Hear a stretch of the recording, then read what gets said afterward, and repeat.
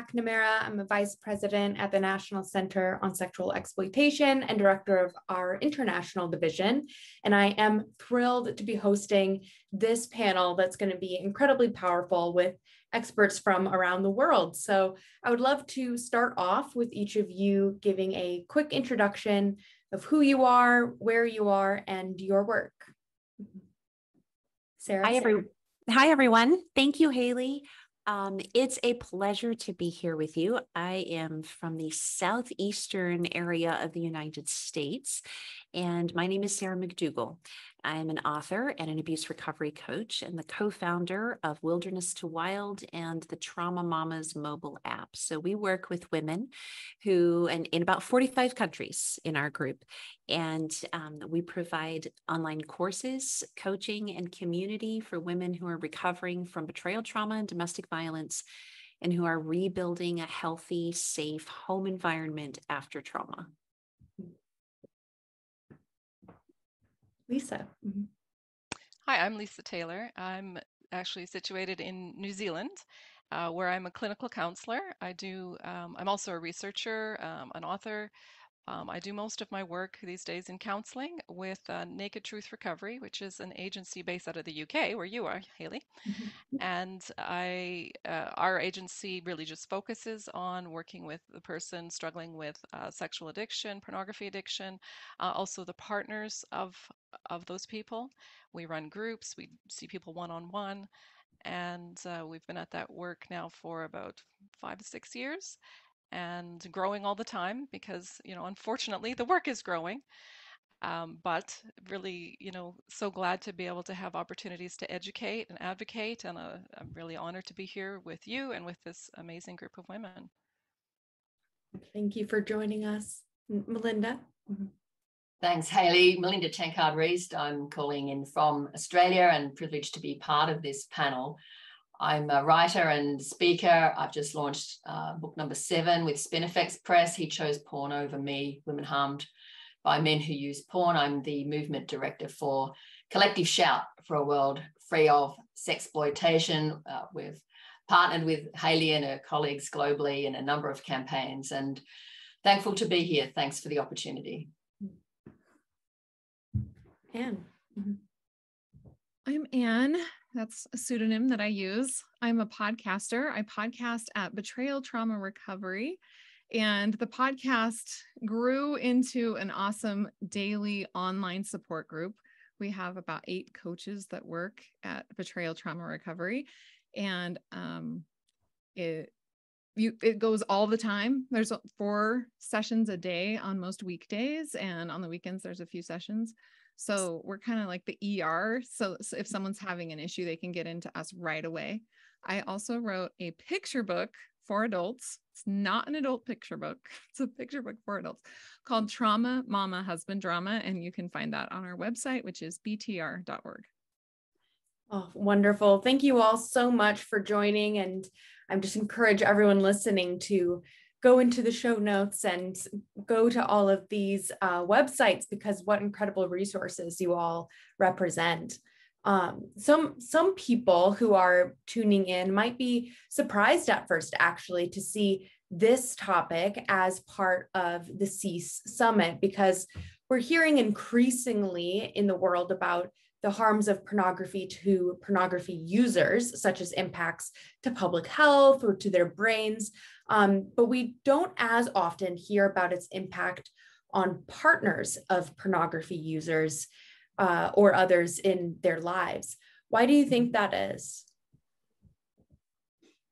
Who are you throwing to there, Haley? I'm throwing it open. Melinda, would you like to begin? Funnily enough, yes.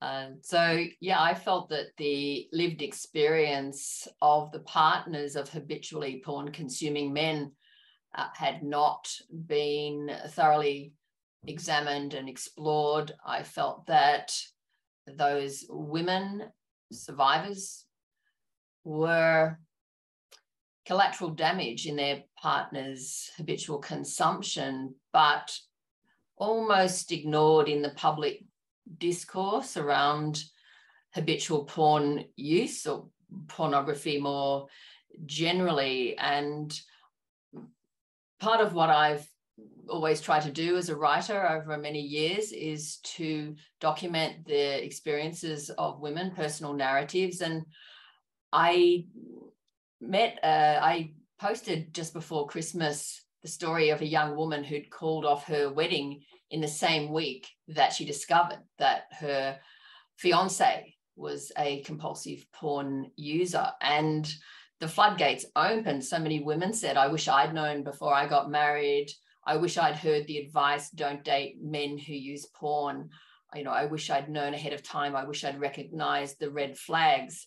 And so many stories started to come in. And then I read its outstanding piece by, by Sarah, who's with us today, asking the question, why choose to walk into hell? And it was really summarizing where you might end up if you enter a relationship with a habitual porn user. And it really just perfectly captured what I was trying to do with this book. One was a warning to, to younger women don't date men who use porn. And secondly, to acknowledge the pain, the trauma, the emotional abuse, uh, the sexual abuse, the sense of betrayal, the erosion of the humanity of the partner, the, the sacrifice of the, the total loss of self, um, erosion of boundaries of the survivor. Uh, so many stories came in. And I wanted to give those women permission really to see that they shouldn't have to sacrifice their entire lives uh, to this man. Some of these women had been in these relationships for 20 or 30 years and were always waiting for that magical day when he would change, but he hadn't done the work. There was no intention to change. And so it was really a permission giving book to these women to recognize themselves as really survivors of, of violence and abuse and mistreatment and to, to exit if they possibly could get out and run for run for their lives. So I mm-hmm. don't even remember the original question, but it was excellent. I I have a thought. Yes. Um, so for a long time working with wives of pornography users was such mm-hmm. a weird like how do we define this what is our mm-hmm. role how do we mm-hmm. do this and as a um my ex was a pornography he's still a pornography user but back in the day um i thought my role was to support his pornography addiction recovery i thought my role was to be a safe person for him and not shame him and all of these other things I did not understand at the time that I was being abused. It was an abuse mm. situation, mm-hmm. and that. I was being asked to tolerate abuse. And not only that, to basically enable it by mm. not shaming him, quote unquote. I mean, you should treat people kindly, but in other words, like to not express to him how stressful it was and how upset I was. I was also constantly being lied to, manipulated, gaslit. And this was from a man who was supposedly in recovery, who was going to recovery meetings and doing those things. It was really interesting to me that after seven years of doing this, not one pornography addiction recovery professional indicated to me that I was being abused. That did not come up, it was not in the discussion. And so I realized wait a minute, I, I started going down the abuse road instead of the pornography addiction recovery road and found that all of the materials, um, it was just check, check, check, check. And I, what I really had been dealing with, me, was abuse. I hmm. was an abuse victim. And at BTR, we specialize in emotional and psychological abuse and sexual coercion because most of the time when you say abuse, people think he's punching you in the face or something. But this type of abuse is um, mainly, and, and not that it doesn't become physical, because it does, but it's mainly emotional and psychological and s- sexual coercion. And when I say sexual coercion, I mean that these are women who don't know that they have that someone is that their partner that their husband is acting outside of the boundaries that they've set for their marriage. They want a monogamous relationship. They don't want porn to be happening. And so they're never able to even give their consent to be in a sexual relationship with this person. So mm-hmm. that consent issue isn't there. It amounts to sexual coercion and it's an abuse issue. It's not an addiction issue. When i finally put two and two together and thank goodness Sarah and Lisa and Melinda and all of us sort of in independently working in our own spheres we we kind of came to these conclusions all sort of at the similar times i think because we've all been working on this for years and years and years.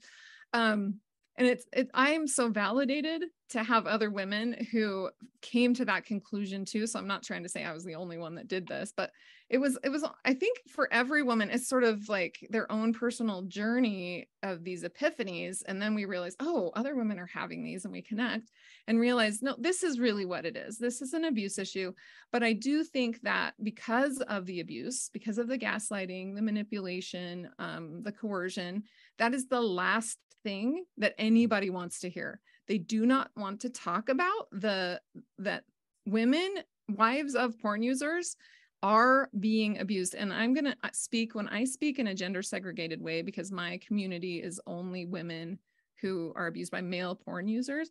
Um, but I recognize that women use pornography as well. I want to like just get that out, you know, recognize that and and validate that as well but I, the the i think that's one of the reasons why this hasn't really come to light is because everyone is trying to avoid that like giant abuse word like the plague they do not want it brought up and they do not want to address it because it's mm-hmm. really big and it has to do with more than just the the clicking on the porn it mm-hmm. has to do with their entire character and it's very very dangerous for women and for families well, that's that's kind of like what Dr. Omar Minwalla talks about with the deceptive sexual trauma, the deceptive sexual basement, or the secret sexual basement, and how being deceptive about one's sexuality in a relationship where there are expectations of monogamy and of faithfulness and of sexual loyalty, uh, that deception creates trauma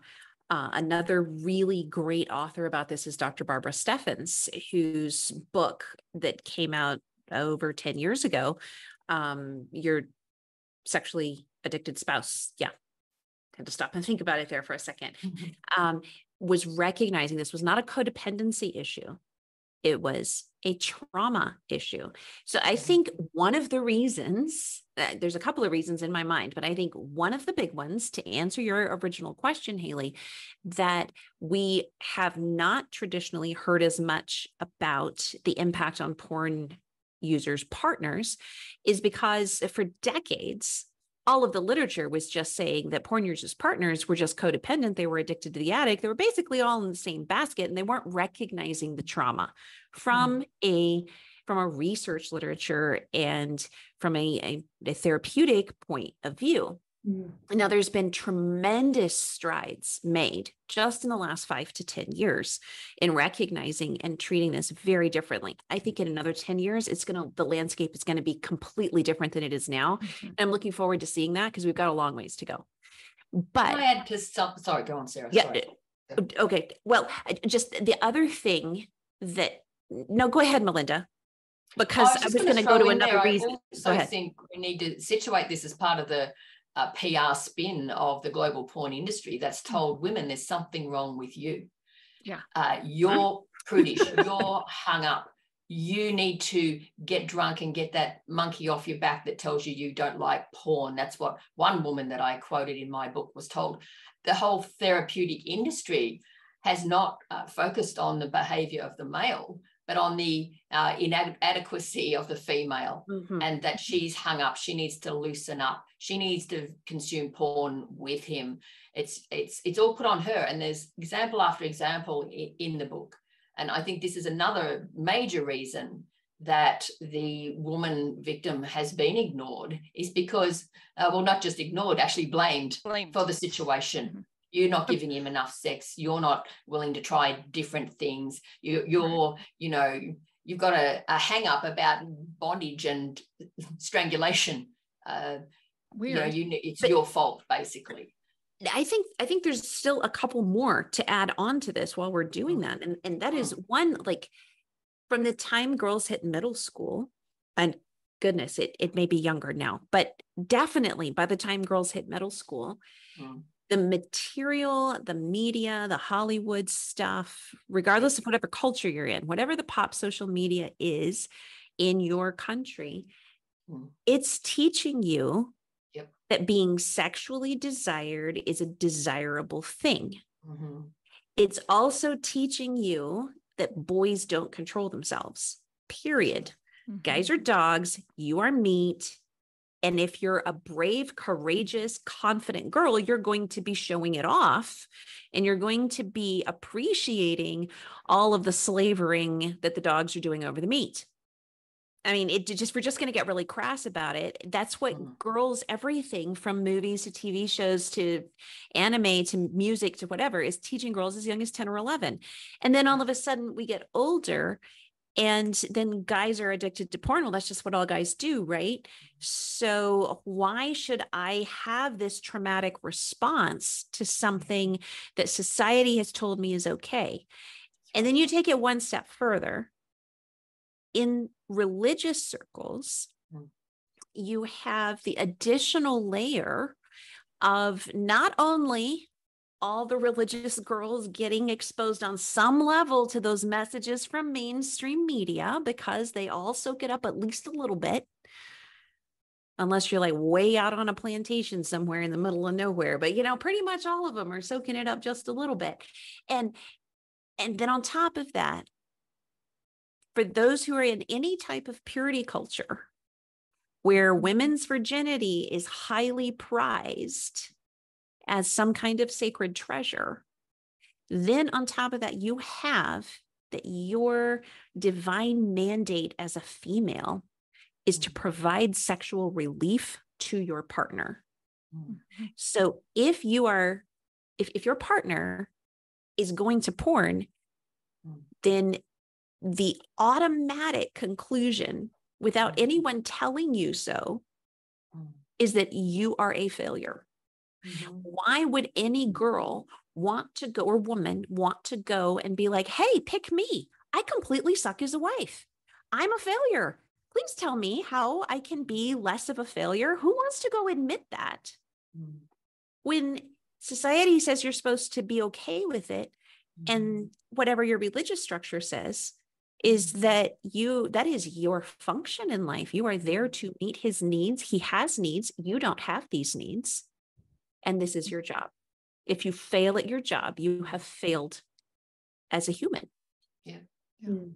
Lisa, have you so all? glad you what else mentioned have the you? grooming Uh, of girls. I'm so glad you mentioned the grooming of girls in the culture. I've just come back from weeks of travel across the country, and the stories I'm hearing are getting worse. And I didn't think that would be possible, but it is. And I've been talking to young women who have been in coercive, controlling, brutal, degrading relationships from the age of 12. So already by 15, 16, uh, they've experienced violence as normal everyday behavior because the culture has groomed them to accept sexual assault as part of a empowering relationship.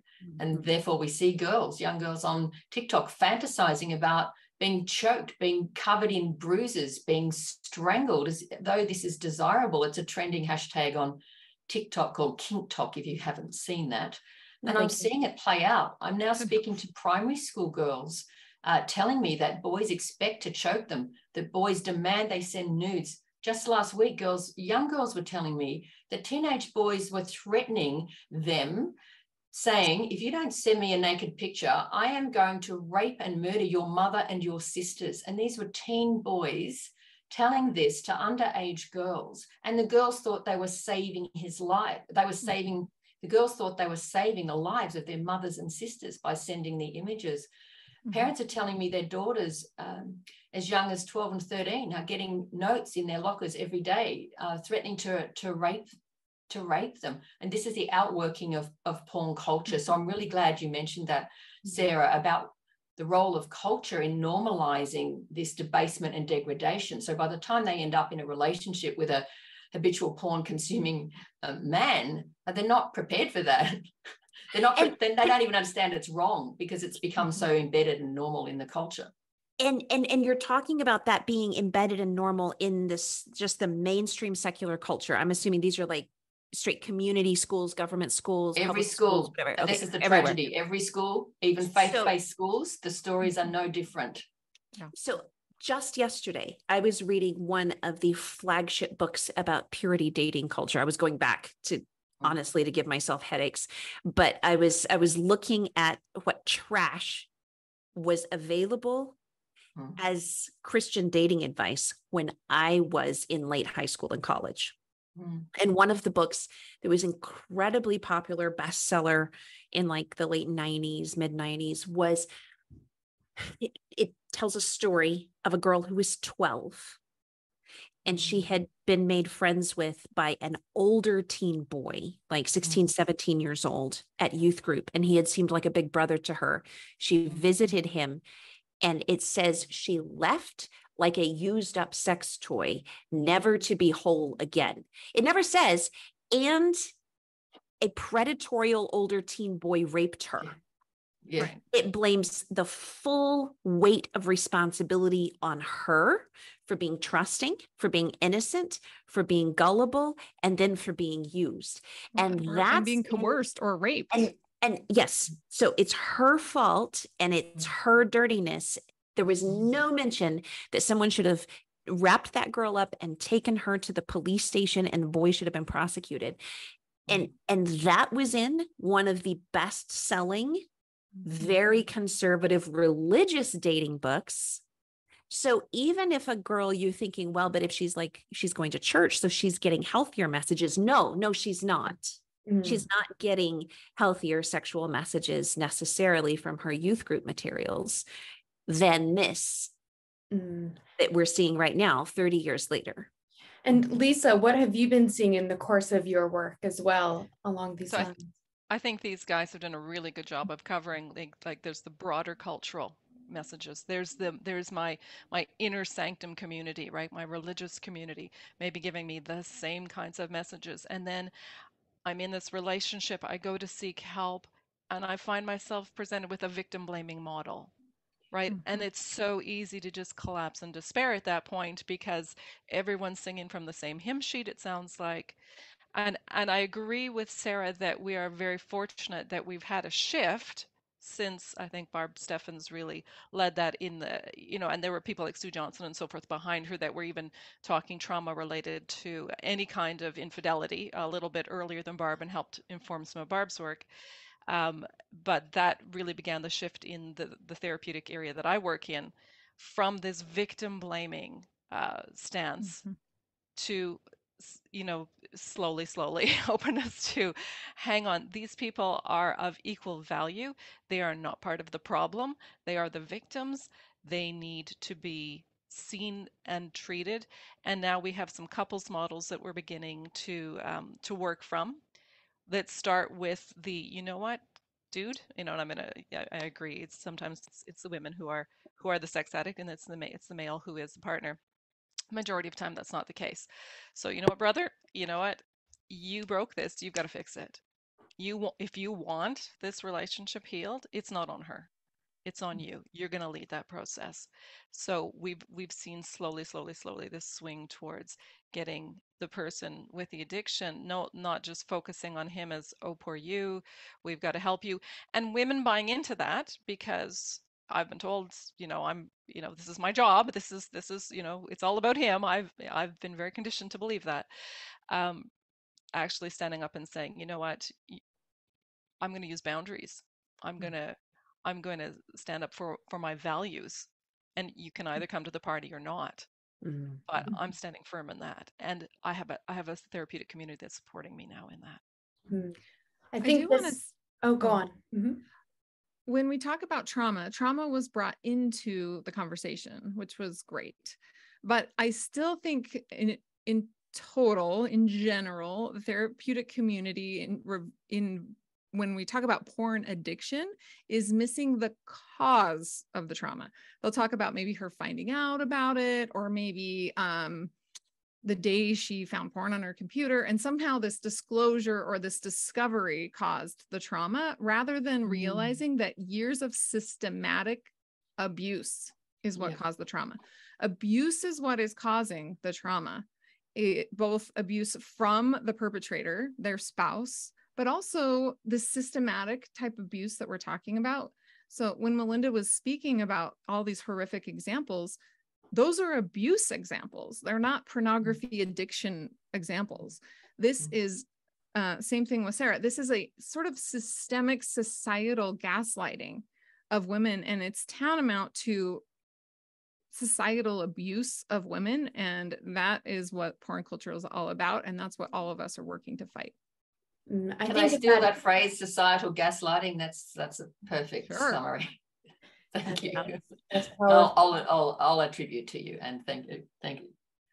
And I think that naturally leads um, to the next topic, which is, you know, it there is this old cliche that pornography can be used to spice up sex in a relationship or that a partner is prudish if they're not interested in pornography um, being an aspect of either their partner's sex life or their joint sex life uh, so how does pornography impact sexual relationships?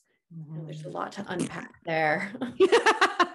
Well i mean you know when you think I, I think a lot of that hinges on well I, I would say it's always harmful but i think an awareness of the negative impact often hinges on how you define sex in the first place now see for me i have the expectations for sex as something that is beautiful intimate and safe between two committed individuals. So when I'm thinking about sexual activity based on my worldview, I'm I'm thinking of it as a husband and wife who are loyal to each other, who are faithful to each other, and who are keeping those promises so that this is a safe, protected environment. Whatever is going wrong in the world out there, it is not messing things up here. Now, if you're thinking of sex as just simply like a hit and run kind mm-hmm. of interaction with another warm body, then we probably wouldn't see eye to eye on the potential negative impact of and, and, and harm of porn, right?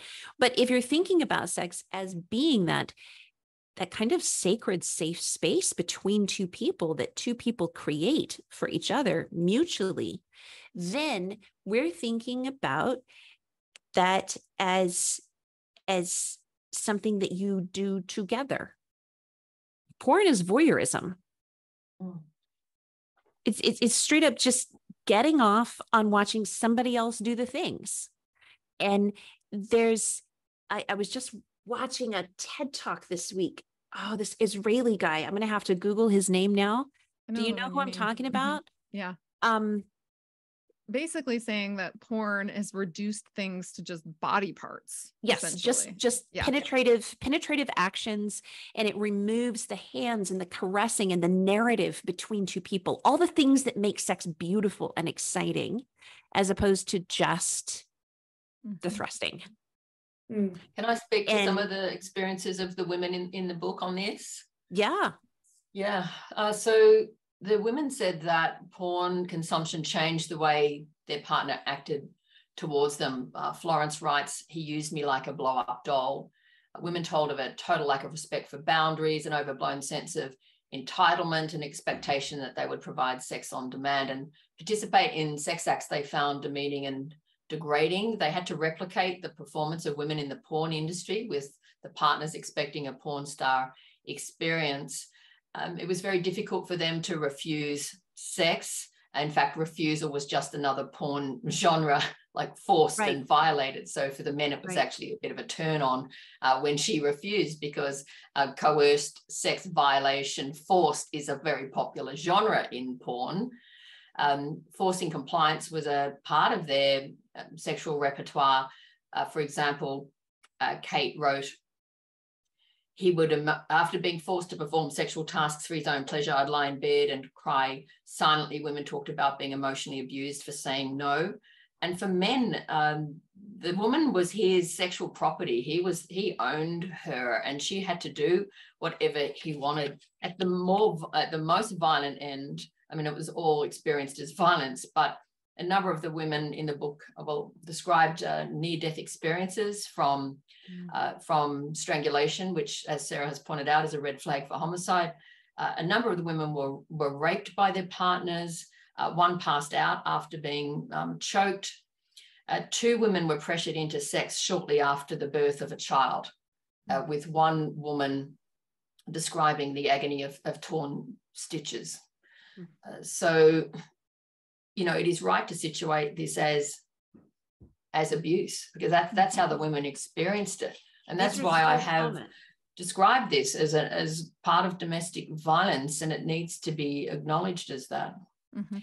There's another issue of the exact uh, of sexual neglect, right?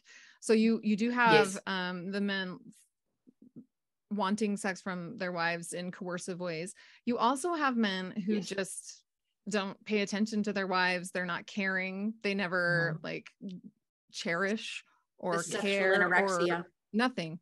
Mhm. Um, it's just basically sexual neglect where their wife Mhm. is just, I guess, their roommate and makes dinner and takes care of the kids, but Mhm. they, they don't like plan dates or try to help out or do anything to to initiate a sexual relationship because they're getting Mhm. all of their sexual quote unquote needs, which is a ridiculous way of describing it. I want to just say their sexual desires are fulfilled through Fetishes. pornography, prostitution, um, Mhm. any kind of masturbation, you know, other other forms, not their wife. So that's another side of that coin.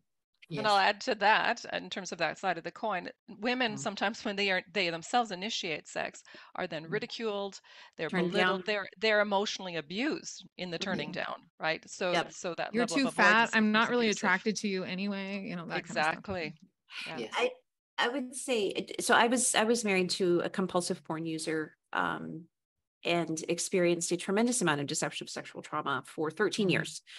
And um, in that journey, and now working with thousands and thousands of women who have experienced this whole spectrum of different profiles of guys. You know, there's the guys who like wanted it five times a day, and there's the guys who completely ignored their wives. What I have never yet heard is that my husband's porn consumption Mm. made him a an attentive, Mm. compassionate, and patient and fabulous lover. I've never heard that yet in thousands. And and what I do hear is that he he was transformed into almost a bestial kind of an animalistic uh, forcefulness or robotic, completely unimaginative, Mm. completely dry and methodical and just all about getting Mechanical, himself some of the women use that mechanical that, yes Mm. mechanical get himself across the finish line and who cares if you had fun in the process and then he's done and you know uh, or or completely ignoring but never do i hear that my husband's porn use turned Mhm. him into this wonderful intimate magnetic lover Mhm. I also think it's really interesting that a lot of women report being abused. They'll say, I was in an abusive relationship. He lied. He was disabled. He was a jerk, you know, all this stuff. And then I'll Mm. say, um, did he use porn? And they say, well, yeah, but that wasn't the problem. Oh, Right? yes, Like, no, no, no, no. Like the porn didn't cause anything. I don't know what you're talking about. Uh, but Mm. yeah, he was this awful person. It would have been the porn was nothing. Like it would have Mm. been fine if he just would have been nice and you know all of this stuff. They don't really recognize that the two things are tied together and that- Mhm. probably because they live in this culture where porn's not bad so it's like yeah of course you drink milk but that wasn't the problem he's abusive right and i think that's kind of an, an- another interesting thing that comes from women who don't m- maybe necessarily think that porn is bad and they know it's happening but they're like Mm. yeah that's not an issue the issue was his lying and all the other things And yet we have this huge body of literature that shows an association between attitudes conducive porn use and attitudes conducive to violence against women or actual acts of violence against women. Mhm. Like huge body of literature. Mhm. So, Yeah. you know, my recent study is adds a little piece in there and it's a piece that focuses on let's hear from partners of sex addicts. What's their experiences of violence? Well, that was 92% of them, 558 women. 92% of them had ever experienced violence. That is way beyond their normal background rates for the countries they live in. If we just looked at physical and sexual, so you were talking about sexual was was your question. 41% of them said yes on on three very standard measures that for example the UN has used in their in a lot of their their prevalent studies, uh, DV prevalent studies. 41% of them had experienced sexual violence based on those measures. Um, when we talk about severe intimate partner violence, so the choking wasn't involved in the, the UN sexual question, it was involved in their physical. Um, and my supervisor and I, we changed that to any form of, of air constriction Mhm. because because so time, often women think of two hands round throat, right? But any form of air constriction can, you know, is, as Melinda said, a red flag for homicide. So we that was the only question. We altered it just slightly. Um, so when we look at those kind of severe, life-threatening levels of physical and match that with with um, sexual, 48% of these partners of sex addicts had ex- had experienced severe intimate partner violence, and most of them were from the US. Most of them, uh, almost, I think, all but two or three were from what we would call high income nations. So, that what's the normal background rate of, of even just not severe intimate partner violence, but intimate partner violence? That would be 22%. So, 48% Mm. if my husband is a sex addict. And in terms of porn, 98% of them reported their husbands were porn users. Wow. Wow. So that's way above the kind of the background rate. I want to throw out also just the actual statistic on the whole concept of choking and strangulation because someone may be watching this and thinking, okay, they keep talking about this being a, a factor for homicide, but like what kind of factor are we talking about? And when we talk about choking, I know the the common language is often, oh, he choked me or whatever, but it choking, like technically, choking is something that happens like if you get a fishbone caught in your throat. It's something that happens on the inside. Mhm. And in sexual breath play or violence, sexual assault, or whatever your partner is calling it, just acting out their fantasies, if there is restriction of the airway, that's called non NFS, non-fatal strangulation. And because it is enacted from the outside of the body, not choking on something on the inside of the body, and it increases your risk of homicide by that partner 750%. 750%. It's not just like a, oh, well, then maybe it's just like this some kind of small risk factor factor. It is a massive risk factor for homicide if he has Mm. ever restrained your breath and airway. Mhm. Mhm. And it's a felony in many, And- many states. And it's depicted in pornography Yes.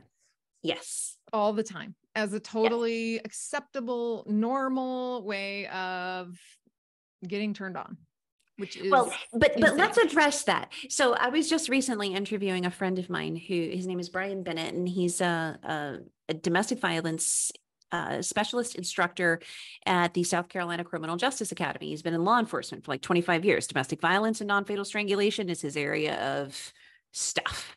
And somebody went off on my page after I posted one of his articles, and they were talking about, "Hey, y'all are eh, basically insulting eh, like the kink community and heck as long as yes, we are. Sorry. and as long as there's consent, it should be okay, et cetera, et cetera.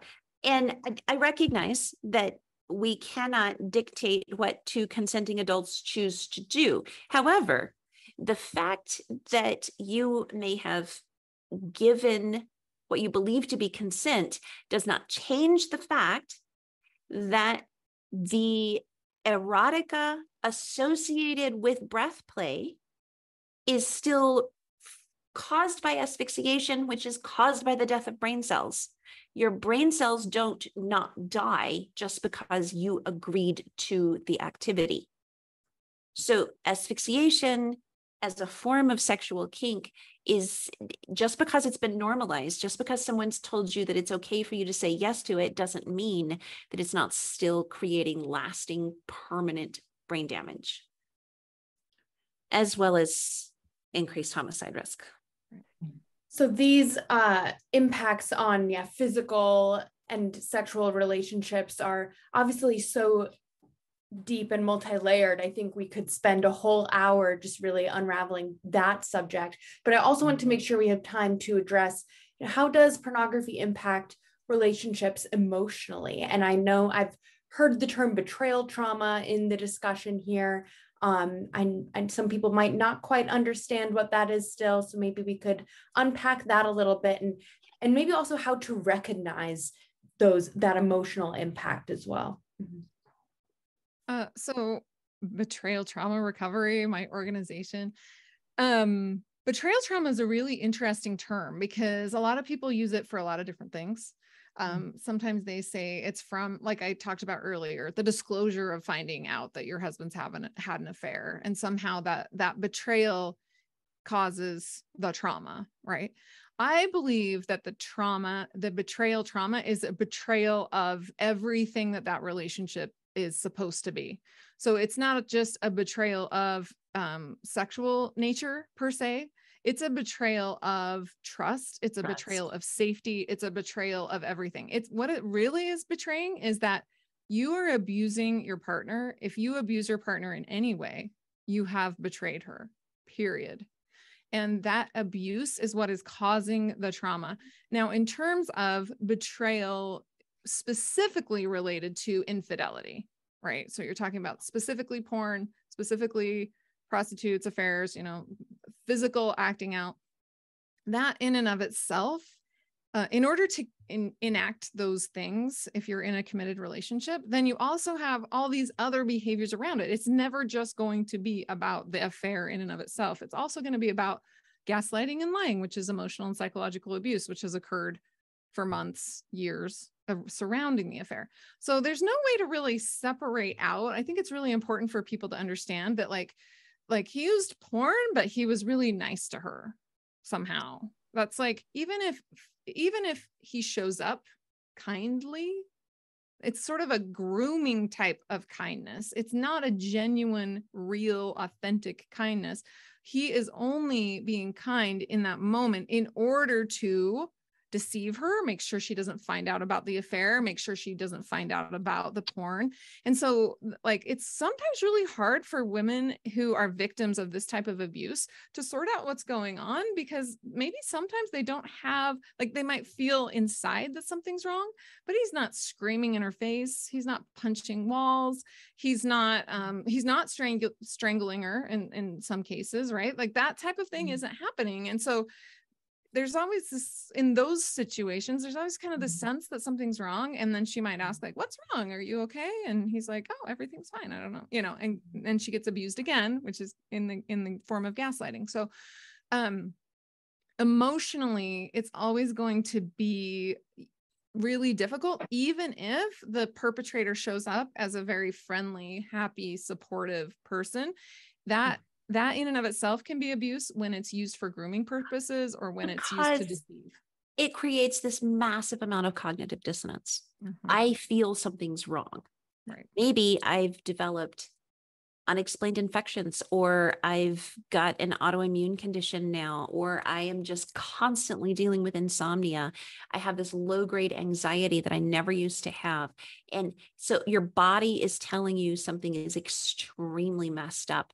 But because you can't point your finger at any specific instant, he hasn't thrown you into a wall, he hasn't tossed you down on the bed and held you down forcibly to rape you, he's not strangling you. He's like, in those nice times, you're thinking, why does my body act like everything is so messed up?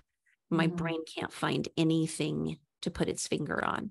Mm-hmm. The cognitive dissonance, it leads to, like I said, autoimmune conditions, cancers, unresolved, ongoing, mysterious health issues, all kinds of things because psychological and emotional betrayal and abuse is physical abuse of the brain and the organ tissues. We just don't get to see the bruise mm. on the outside. Yeah. And, it, and that's it, why. I, mm, go ahead. Oh, sorry. I was just going to say that's why occasionally women feel relief when they find out. Yes. Oh, you're a porn user. You've been hiding that from me. Now suddenly it makes sense. sense. Yeah. yeah. Suddenly, and because I think, like Anne was talking about, uh, we have this uh, this idea of betrayal trauma. Jennifer Freyd was the psychologist who mm-hmm. probably mm-hmm. used that term 1st mm-hmm. and she was describing the complex trauma that results from um, having someone on whom you rely right on whom mm-hmm. you you know this is one of your main attachment people whether that's your parent it's your parents or, or your your partner or spouse um, and you rely on this person emotionally maybe you rely on them financially and to find out they are not who you thought they were and that they are not for you the way you thought that they were that creates massive anxiety for most women, right? That creates um, men too, if they're the, if they're the partner. Um, but women are often in that more vulnerable position with regards to men, especially certain points of the life cycle, right? Pregnancy, breastfeeding. Maybe I'm older, I'm retired, I don't have um, a financial independence. I work with a lot of women who are in their 60s, 65, and, and divorcing now. Um, that's a big that's a big deal. Mm. Um, they're vulnerable, and um, that ups that level of trauma. Then, right? If I have those higher levels of, of vulnerability, but trauma is trauma, right? The symptoms that you see are kind of the same whether I'm the victim of, and uh, as we're saying, so often they are the victims of domestic violence, right? It's so it's very difficult. It's more a, ma- a matter of helping them to see and helping the person with the addiction, if they want to heal, to see where they have been domestic violence perpetrators. Um, that there's this complex trauma probably mm-hmm. the situation mm-hmm. because it's been ongoing and so all that hypervigilance all that hyperarousal and hypoarousal is likely mm-hmm. going on right i'm not sleeping i'm not eating i have nightmares i have panic attacks i i this huge startle reflex. These are the kinds of things that are are normal sadly for women in these situations. Often it gets a little worse when they first find out for most women it's not a relief it, it's actually it can be met I, have heard of a woman being had a heart attack. I have many women who vomit right? This mm-hmm. massive physiological reaction irritable bowel syndrome and just mm-hmm. nonstop being um, irritated. Yeah, Lisa used the term domestic violence or DV mm-hmm. for short. So if you've been listening, if you heard DV or you've heard domestic violence and you're thinking, well, he didn't punch her, so it's not violent. Mm-hmm. The, the the the scope of domestic violence includes emotional and psychological abuse. So anytime you hear domestic violence, it, I, I think it might be easier for people who aren't familiar with DV to hear maybe domestic abuse because maybe they're they're not aware that like it's emotional, it's psychological violence. So even if and it's control. not they don't have a bruise, they don't have some kind of punch in their face, emotional and psychological abuse are still under the umbrella of domestic violence. Any domestic violence expert that you go to, they always include emotional and psychological abuse. So it just blows my mind that the pornography addiction recovery community in general does not take like doesn't talk about abuse first like this is an mm-hmm. abuse mm-hmm. issue it sh- they should talk mm-hmm. about that first that should be the number one thing um, but and and and I, it just blows my mind that that's not. So, but, sorry, but so much. No, no, no. I'm just like piggybacking on that. So much of the porn addiction community has come out of things that are rooted and steeped in sex as men's needs hmm. like mm. on the same level as water air and nutrition you know that oh, not yeah. getting sex, not getting sex every 72 hours. Thank you, James Dobson, for making that one up. But not not getting sex every 72 hours is like being buried alive in a coffin and dying a slow death. And you could just, if your wife is not giving it up, then you are entitled to go mm. get it elsewhere and it will be her fault. She's a bad wife. It's wrong for you to do that, but it's kind of understandable because you have needs. She has no needs. Mm-hmm. Her need is to be there for you. And so when we come at it from even that subconscious, like deeply steeped kind of misogynistic assumption, a misogynistic patriarchal assumption. Can we say that stuff here, Haley? Yeah. Can we just like be super yes. blunt about it? Um, when we come at it from that perspective, even if that is just rooted in the subconscious, then we're much more likely to place the blame in the wrong place. Mm-hmm. Melinda, have what have you seen from your um, discussions with young women along these lines? Young women are telling me increasingly accounts that show the grooming impacts of porn and porn culture. They don't talk in terms of certainly not respect or intimacy or connection you would you don't hear the word love like that's just totally like talking about kink that's almost like right out there uh, they don't talk about affection or kissing is considered way too intimate uh, oral anal non-fatal strangulation well before before a kiss Mm. Uh, the stories I used to hear from senior secondary students, I'm now hearing from grades in Australia, grades six and seven. So we're talking 11, 12, 13.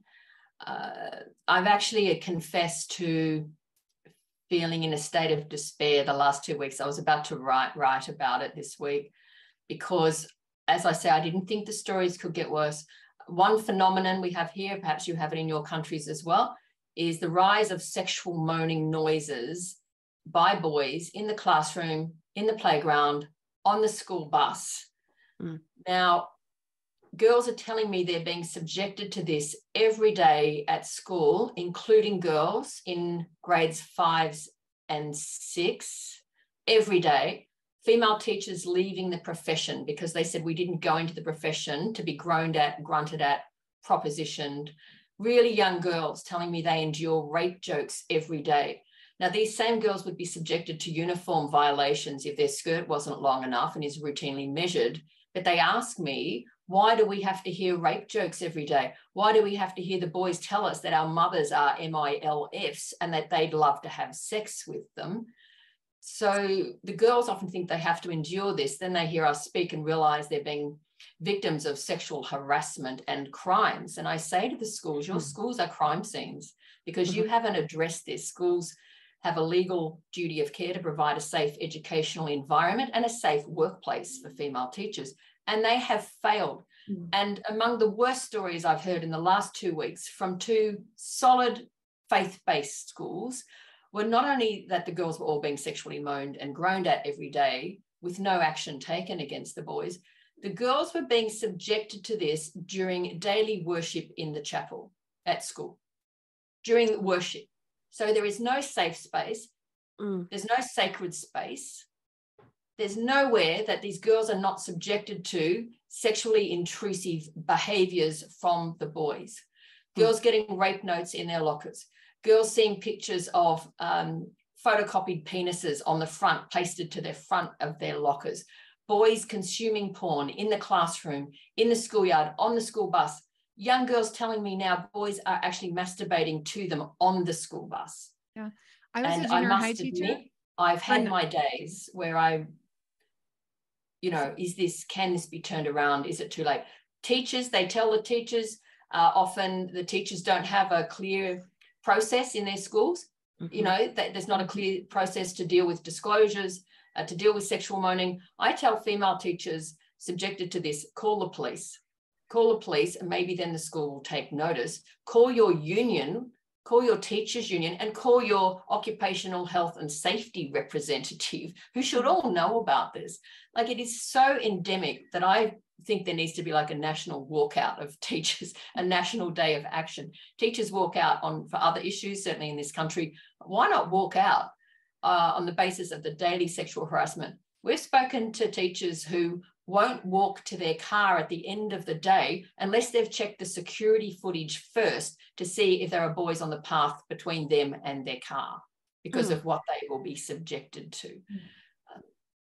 it's getting worse. It's getting worse. Younger, uh, the hmm. the fruits of porn and porn culture are now being seen. And you know, this may sound rhetorical. It's just how I feel at the moment, so I'm going to say it you know, we talk about, you know, maybe doomsday is coming. There are days I wonder maybe we're here. maybe we're in doomsday mm-hmm. with all the stories girls are telling me every day, with all the women contacting me in relation to the book, uh, all the stories of abuse and violence that women are subjected to. You know, I have underage girls saying, he went for my throat without even asking. You know, this is the daily lived reality mm. of, I would say, most young women that I encounter. So I need one of you to speak something hopeful. I know there's hope because girls contact me and say, yeah. after hearing our message, they're going to stand up for themselves. They've reported abuse.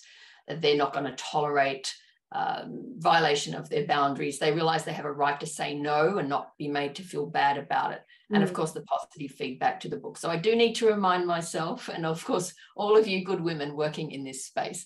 It's just that I've come off the end of this last tour with the worst stories I've ever heard, and I'm still processing that. To be mm. to be honest with you all. Yes. Oh, that's. I mean, it's you've all painted really, I think, instructional and helpful pictures of of reality of whether that's um, an mm. intimate committed relationship you know mm. just youth uh, and just the general culture as well the way that pornography does have these mm-hmm. ripple effects and so many mm-hmm. ramifications that just often aren't being discussed um, as we're transitioning to the last few minutes of um, this panel we could we could do a whole conference just on this topic. There's so much to discuss here. Um, and that's why I'm we should really, do that, Haley. We should. should. do that. I think we, we should. should. Yeah. And everyone, and I'm encouraging in the meantime, while we organize that, everyone needs to go and dive into the resources that you all are providing as well, because there's so much more to discuss.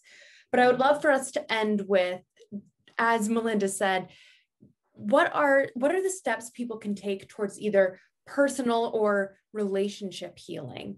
Uh, people who are watching this could be all across the spectrum in their experiences. They could be in relationships right now where this is a problem. They could have exited relationships. Um, they could just be a bit overwhelmed um, thinking about this topic. So, if any advice you have on personal or relationship healing and reasons for hope, I think would be a wonderful way to end this panel. Mm-hmm. Go, um, Anne. I'll follow. I apologize, Melinda. I I was I interrupted you. I was a junior high teacher for nine years, and I ended teaching in 2008. And the last year I the last year I taught, two boys masturbated in my class. Um, that I witnessed with my own eyeballs. So it's a lot worse now, but it was pretty crazy. So I was like, oh my gosh, this happened to me. That's so sorry. I didn't mean to interrupt. No, thanks for sharing that. And so um wow. in terms of relational healing, I want to talk about that first. Mm-hmm. So many women, when they first find out, that's their top priority because divorce seems like the worst case scenario, right? They're just terrified. They don't want their family to be torn apart and it's really hard. The only way, the only way a relationship, quote unquote, can heal is mm-hmm. if that abuse is completely stopped, period. So there's really no way for the relationship to heal as a like couple thing where they're both working on their part or something like that. That is just not how abuse works. So, mm-hmm. unless the victim views the situation as an abuse situation, this is being mm-hmm. perpetrated on me. I am a victim of abuse.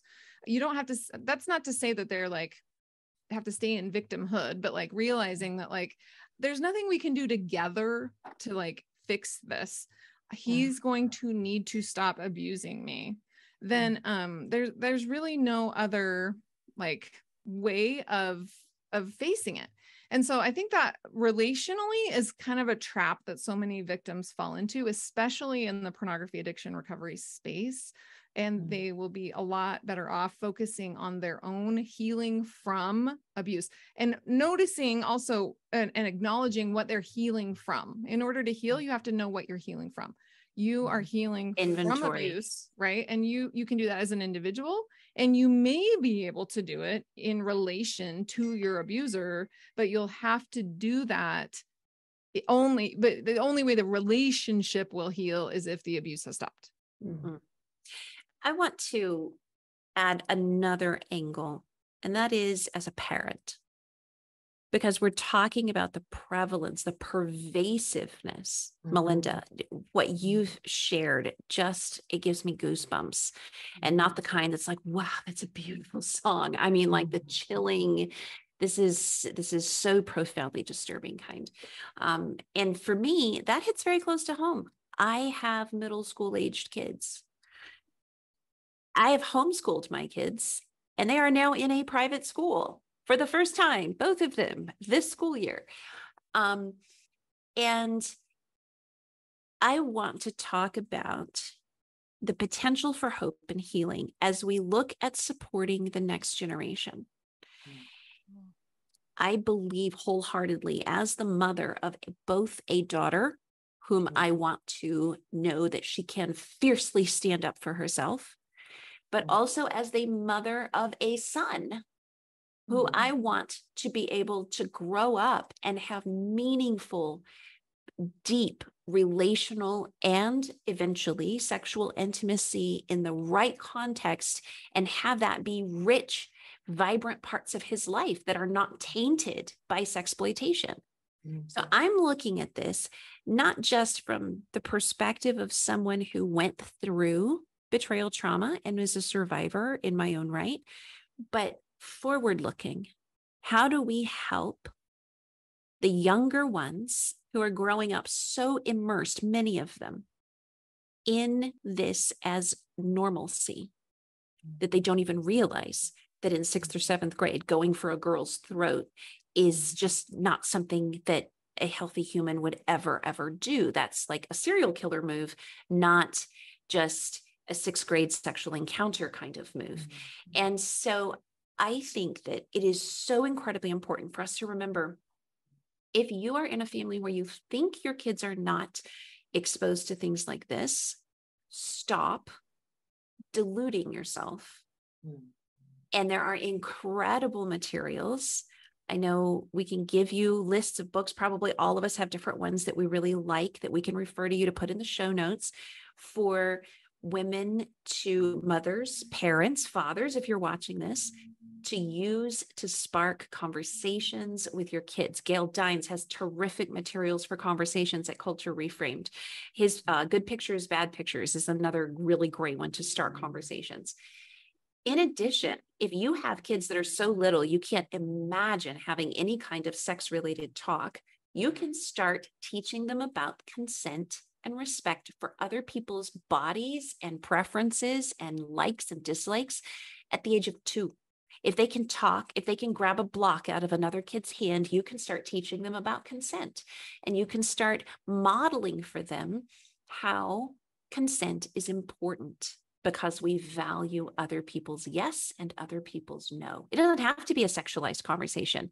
Haley, you just had a baby. You know, like you can be discussing consent in mm-hmm. completely age appropriate ways in like six months with your child. and I believe that in today's world, just a trip to the mall, to the shopping center is so sexualized in so many societies that we have to be having very open, transparent conversations with our children about what is appropriate, what is not appropriate, what is a violation of consent, what is a violation of bodily autonomy, and giving them terms to use so that if something happens to them, they know, hey, that was actually a crime. And I'm going to go talk to someone about it because I don't have to put up with that crap. And empowering our sons and our daughters to not accept this as the baseline of their generation. Mm, well said. Lisa, what are, what are your thoughts as well? On... I'll speak. Mm. I'll speak from what the research showed me. So uh, I've mentioned this research. This was done through the University of Auckland. Um, you can find it at. Anybody can read the whole paper. Um, this is my master's uh, master's in counseling research um, at psadv.study.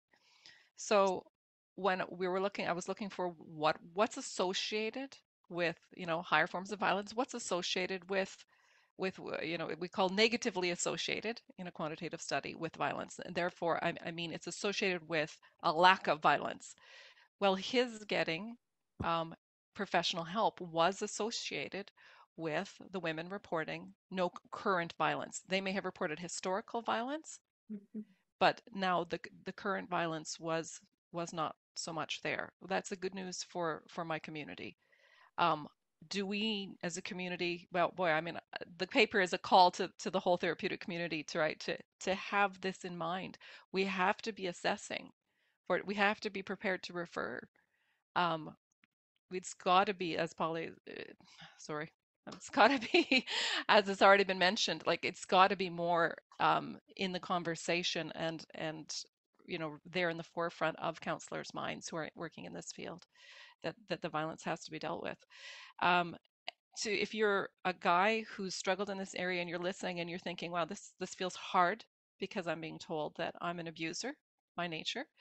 Um, we, we need to just kind of put that on the table and destigmatize that, right? You've been trained, you've been well trained by the porn industry, maybe by others. We have to look into that. What's that about?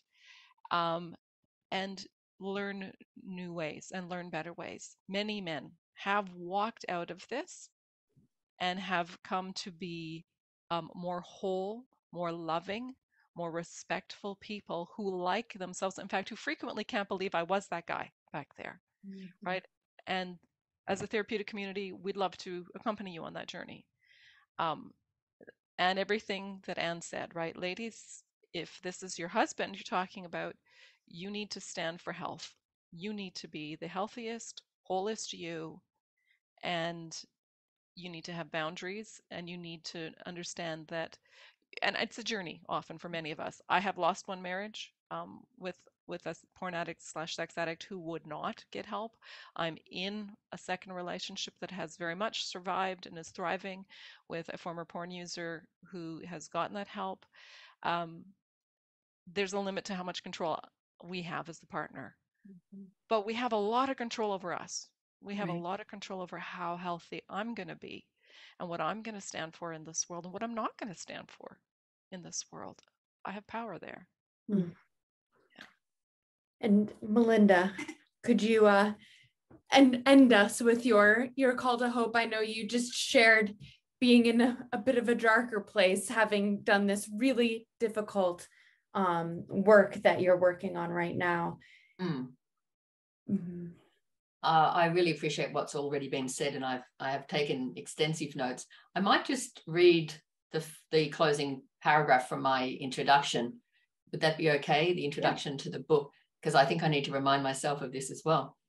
I hope this book will help women demand higher standards in relationships, be more discerning, recognize the signs, and turn away from men who consume porn, and that more broadly, individuals who value intimacy, connection, mutuality, empathy, and compassion, to quote Robert Jensen, quote, the emotions that make stable, decent human communities possible, will endeavor to protect these essential qualities from being devoured by the global porn industry. And I must say, I am encouraged by the number of young people globally that are joining the anti porn movement, that are really leading the way because it's my generation that's really messed this up but I do find there are seeds of hope in the new generation that is resisting the toxic messages of porn, saying we don't want our intimate lives to be dictated by pornography scripts. We want something that's real and meaningful and um, loving.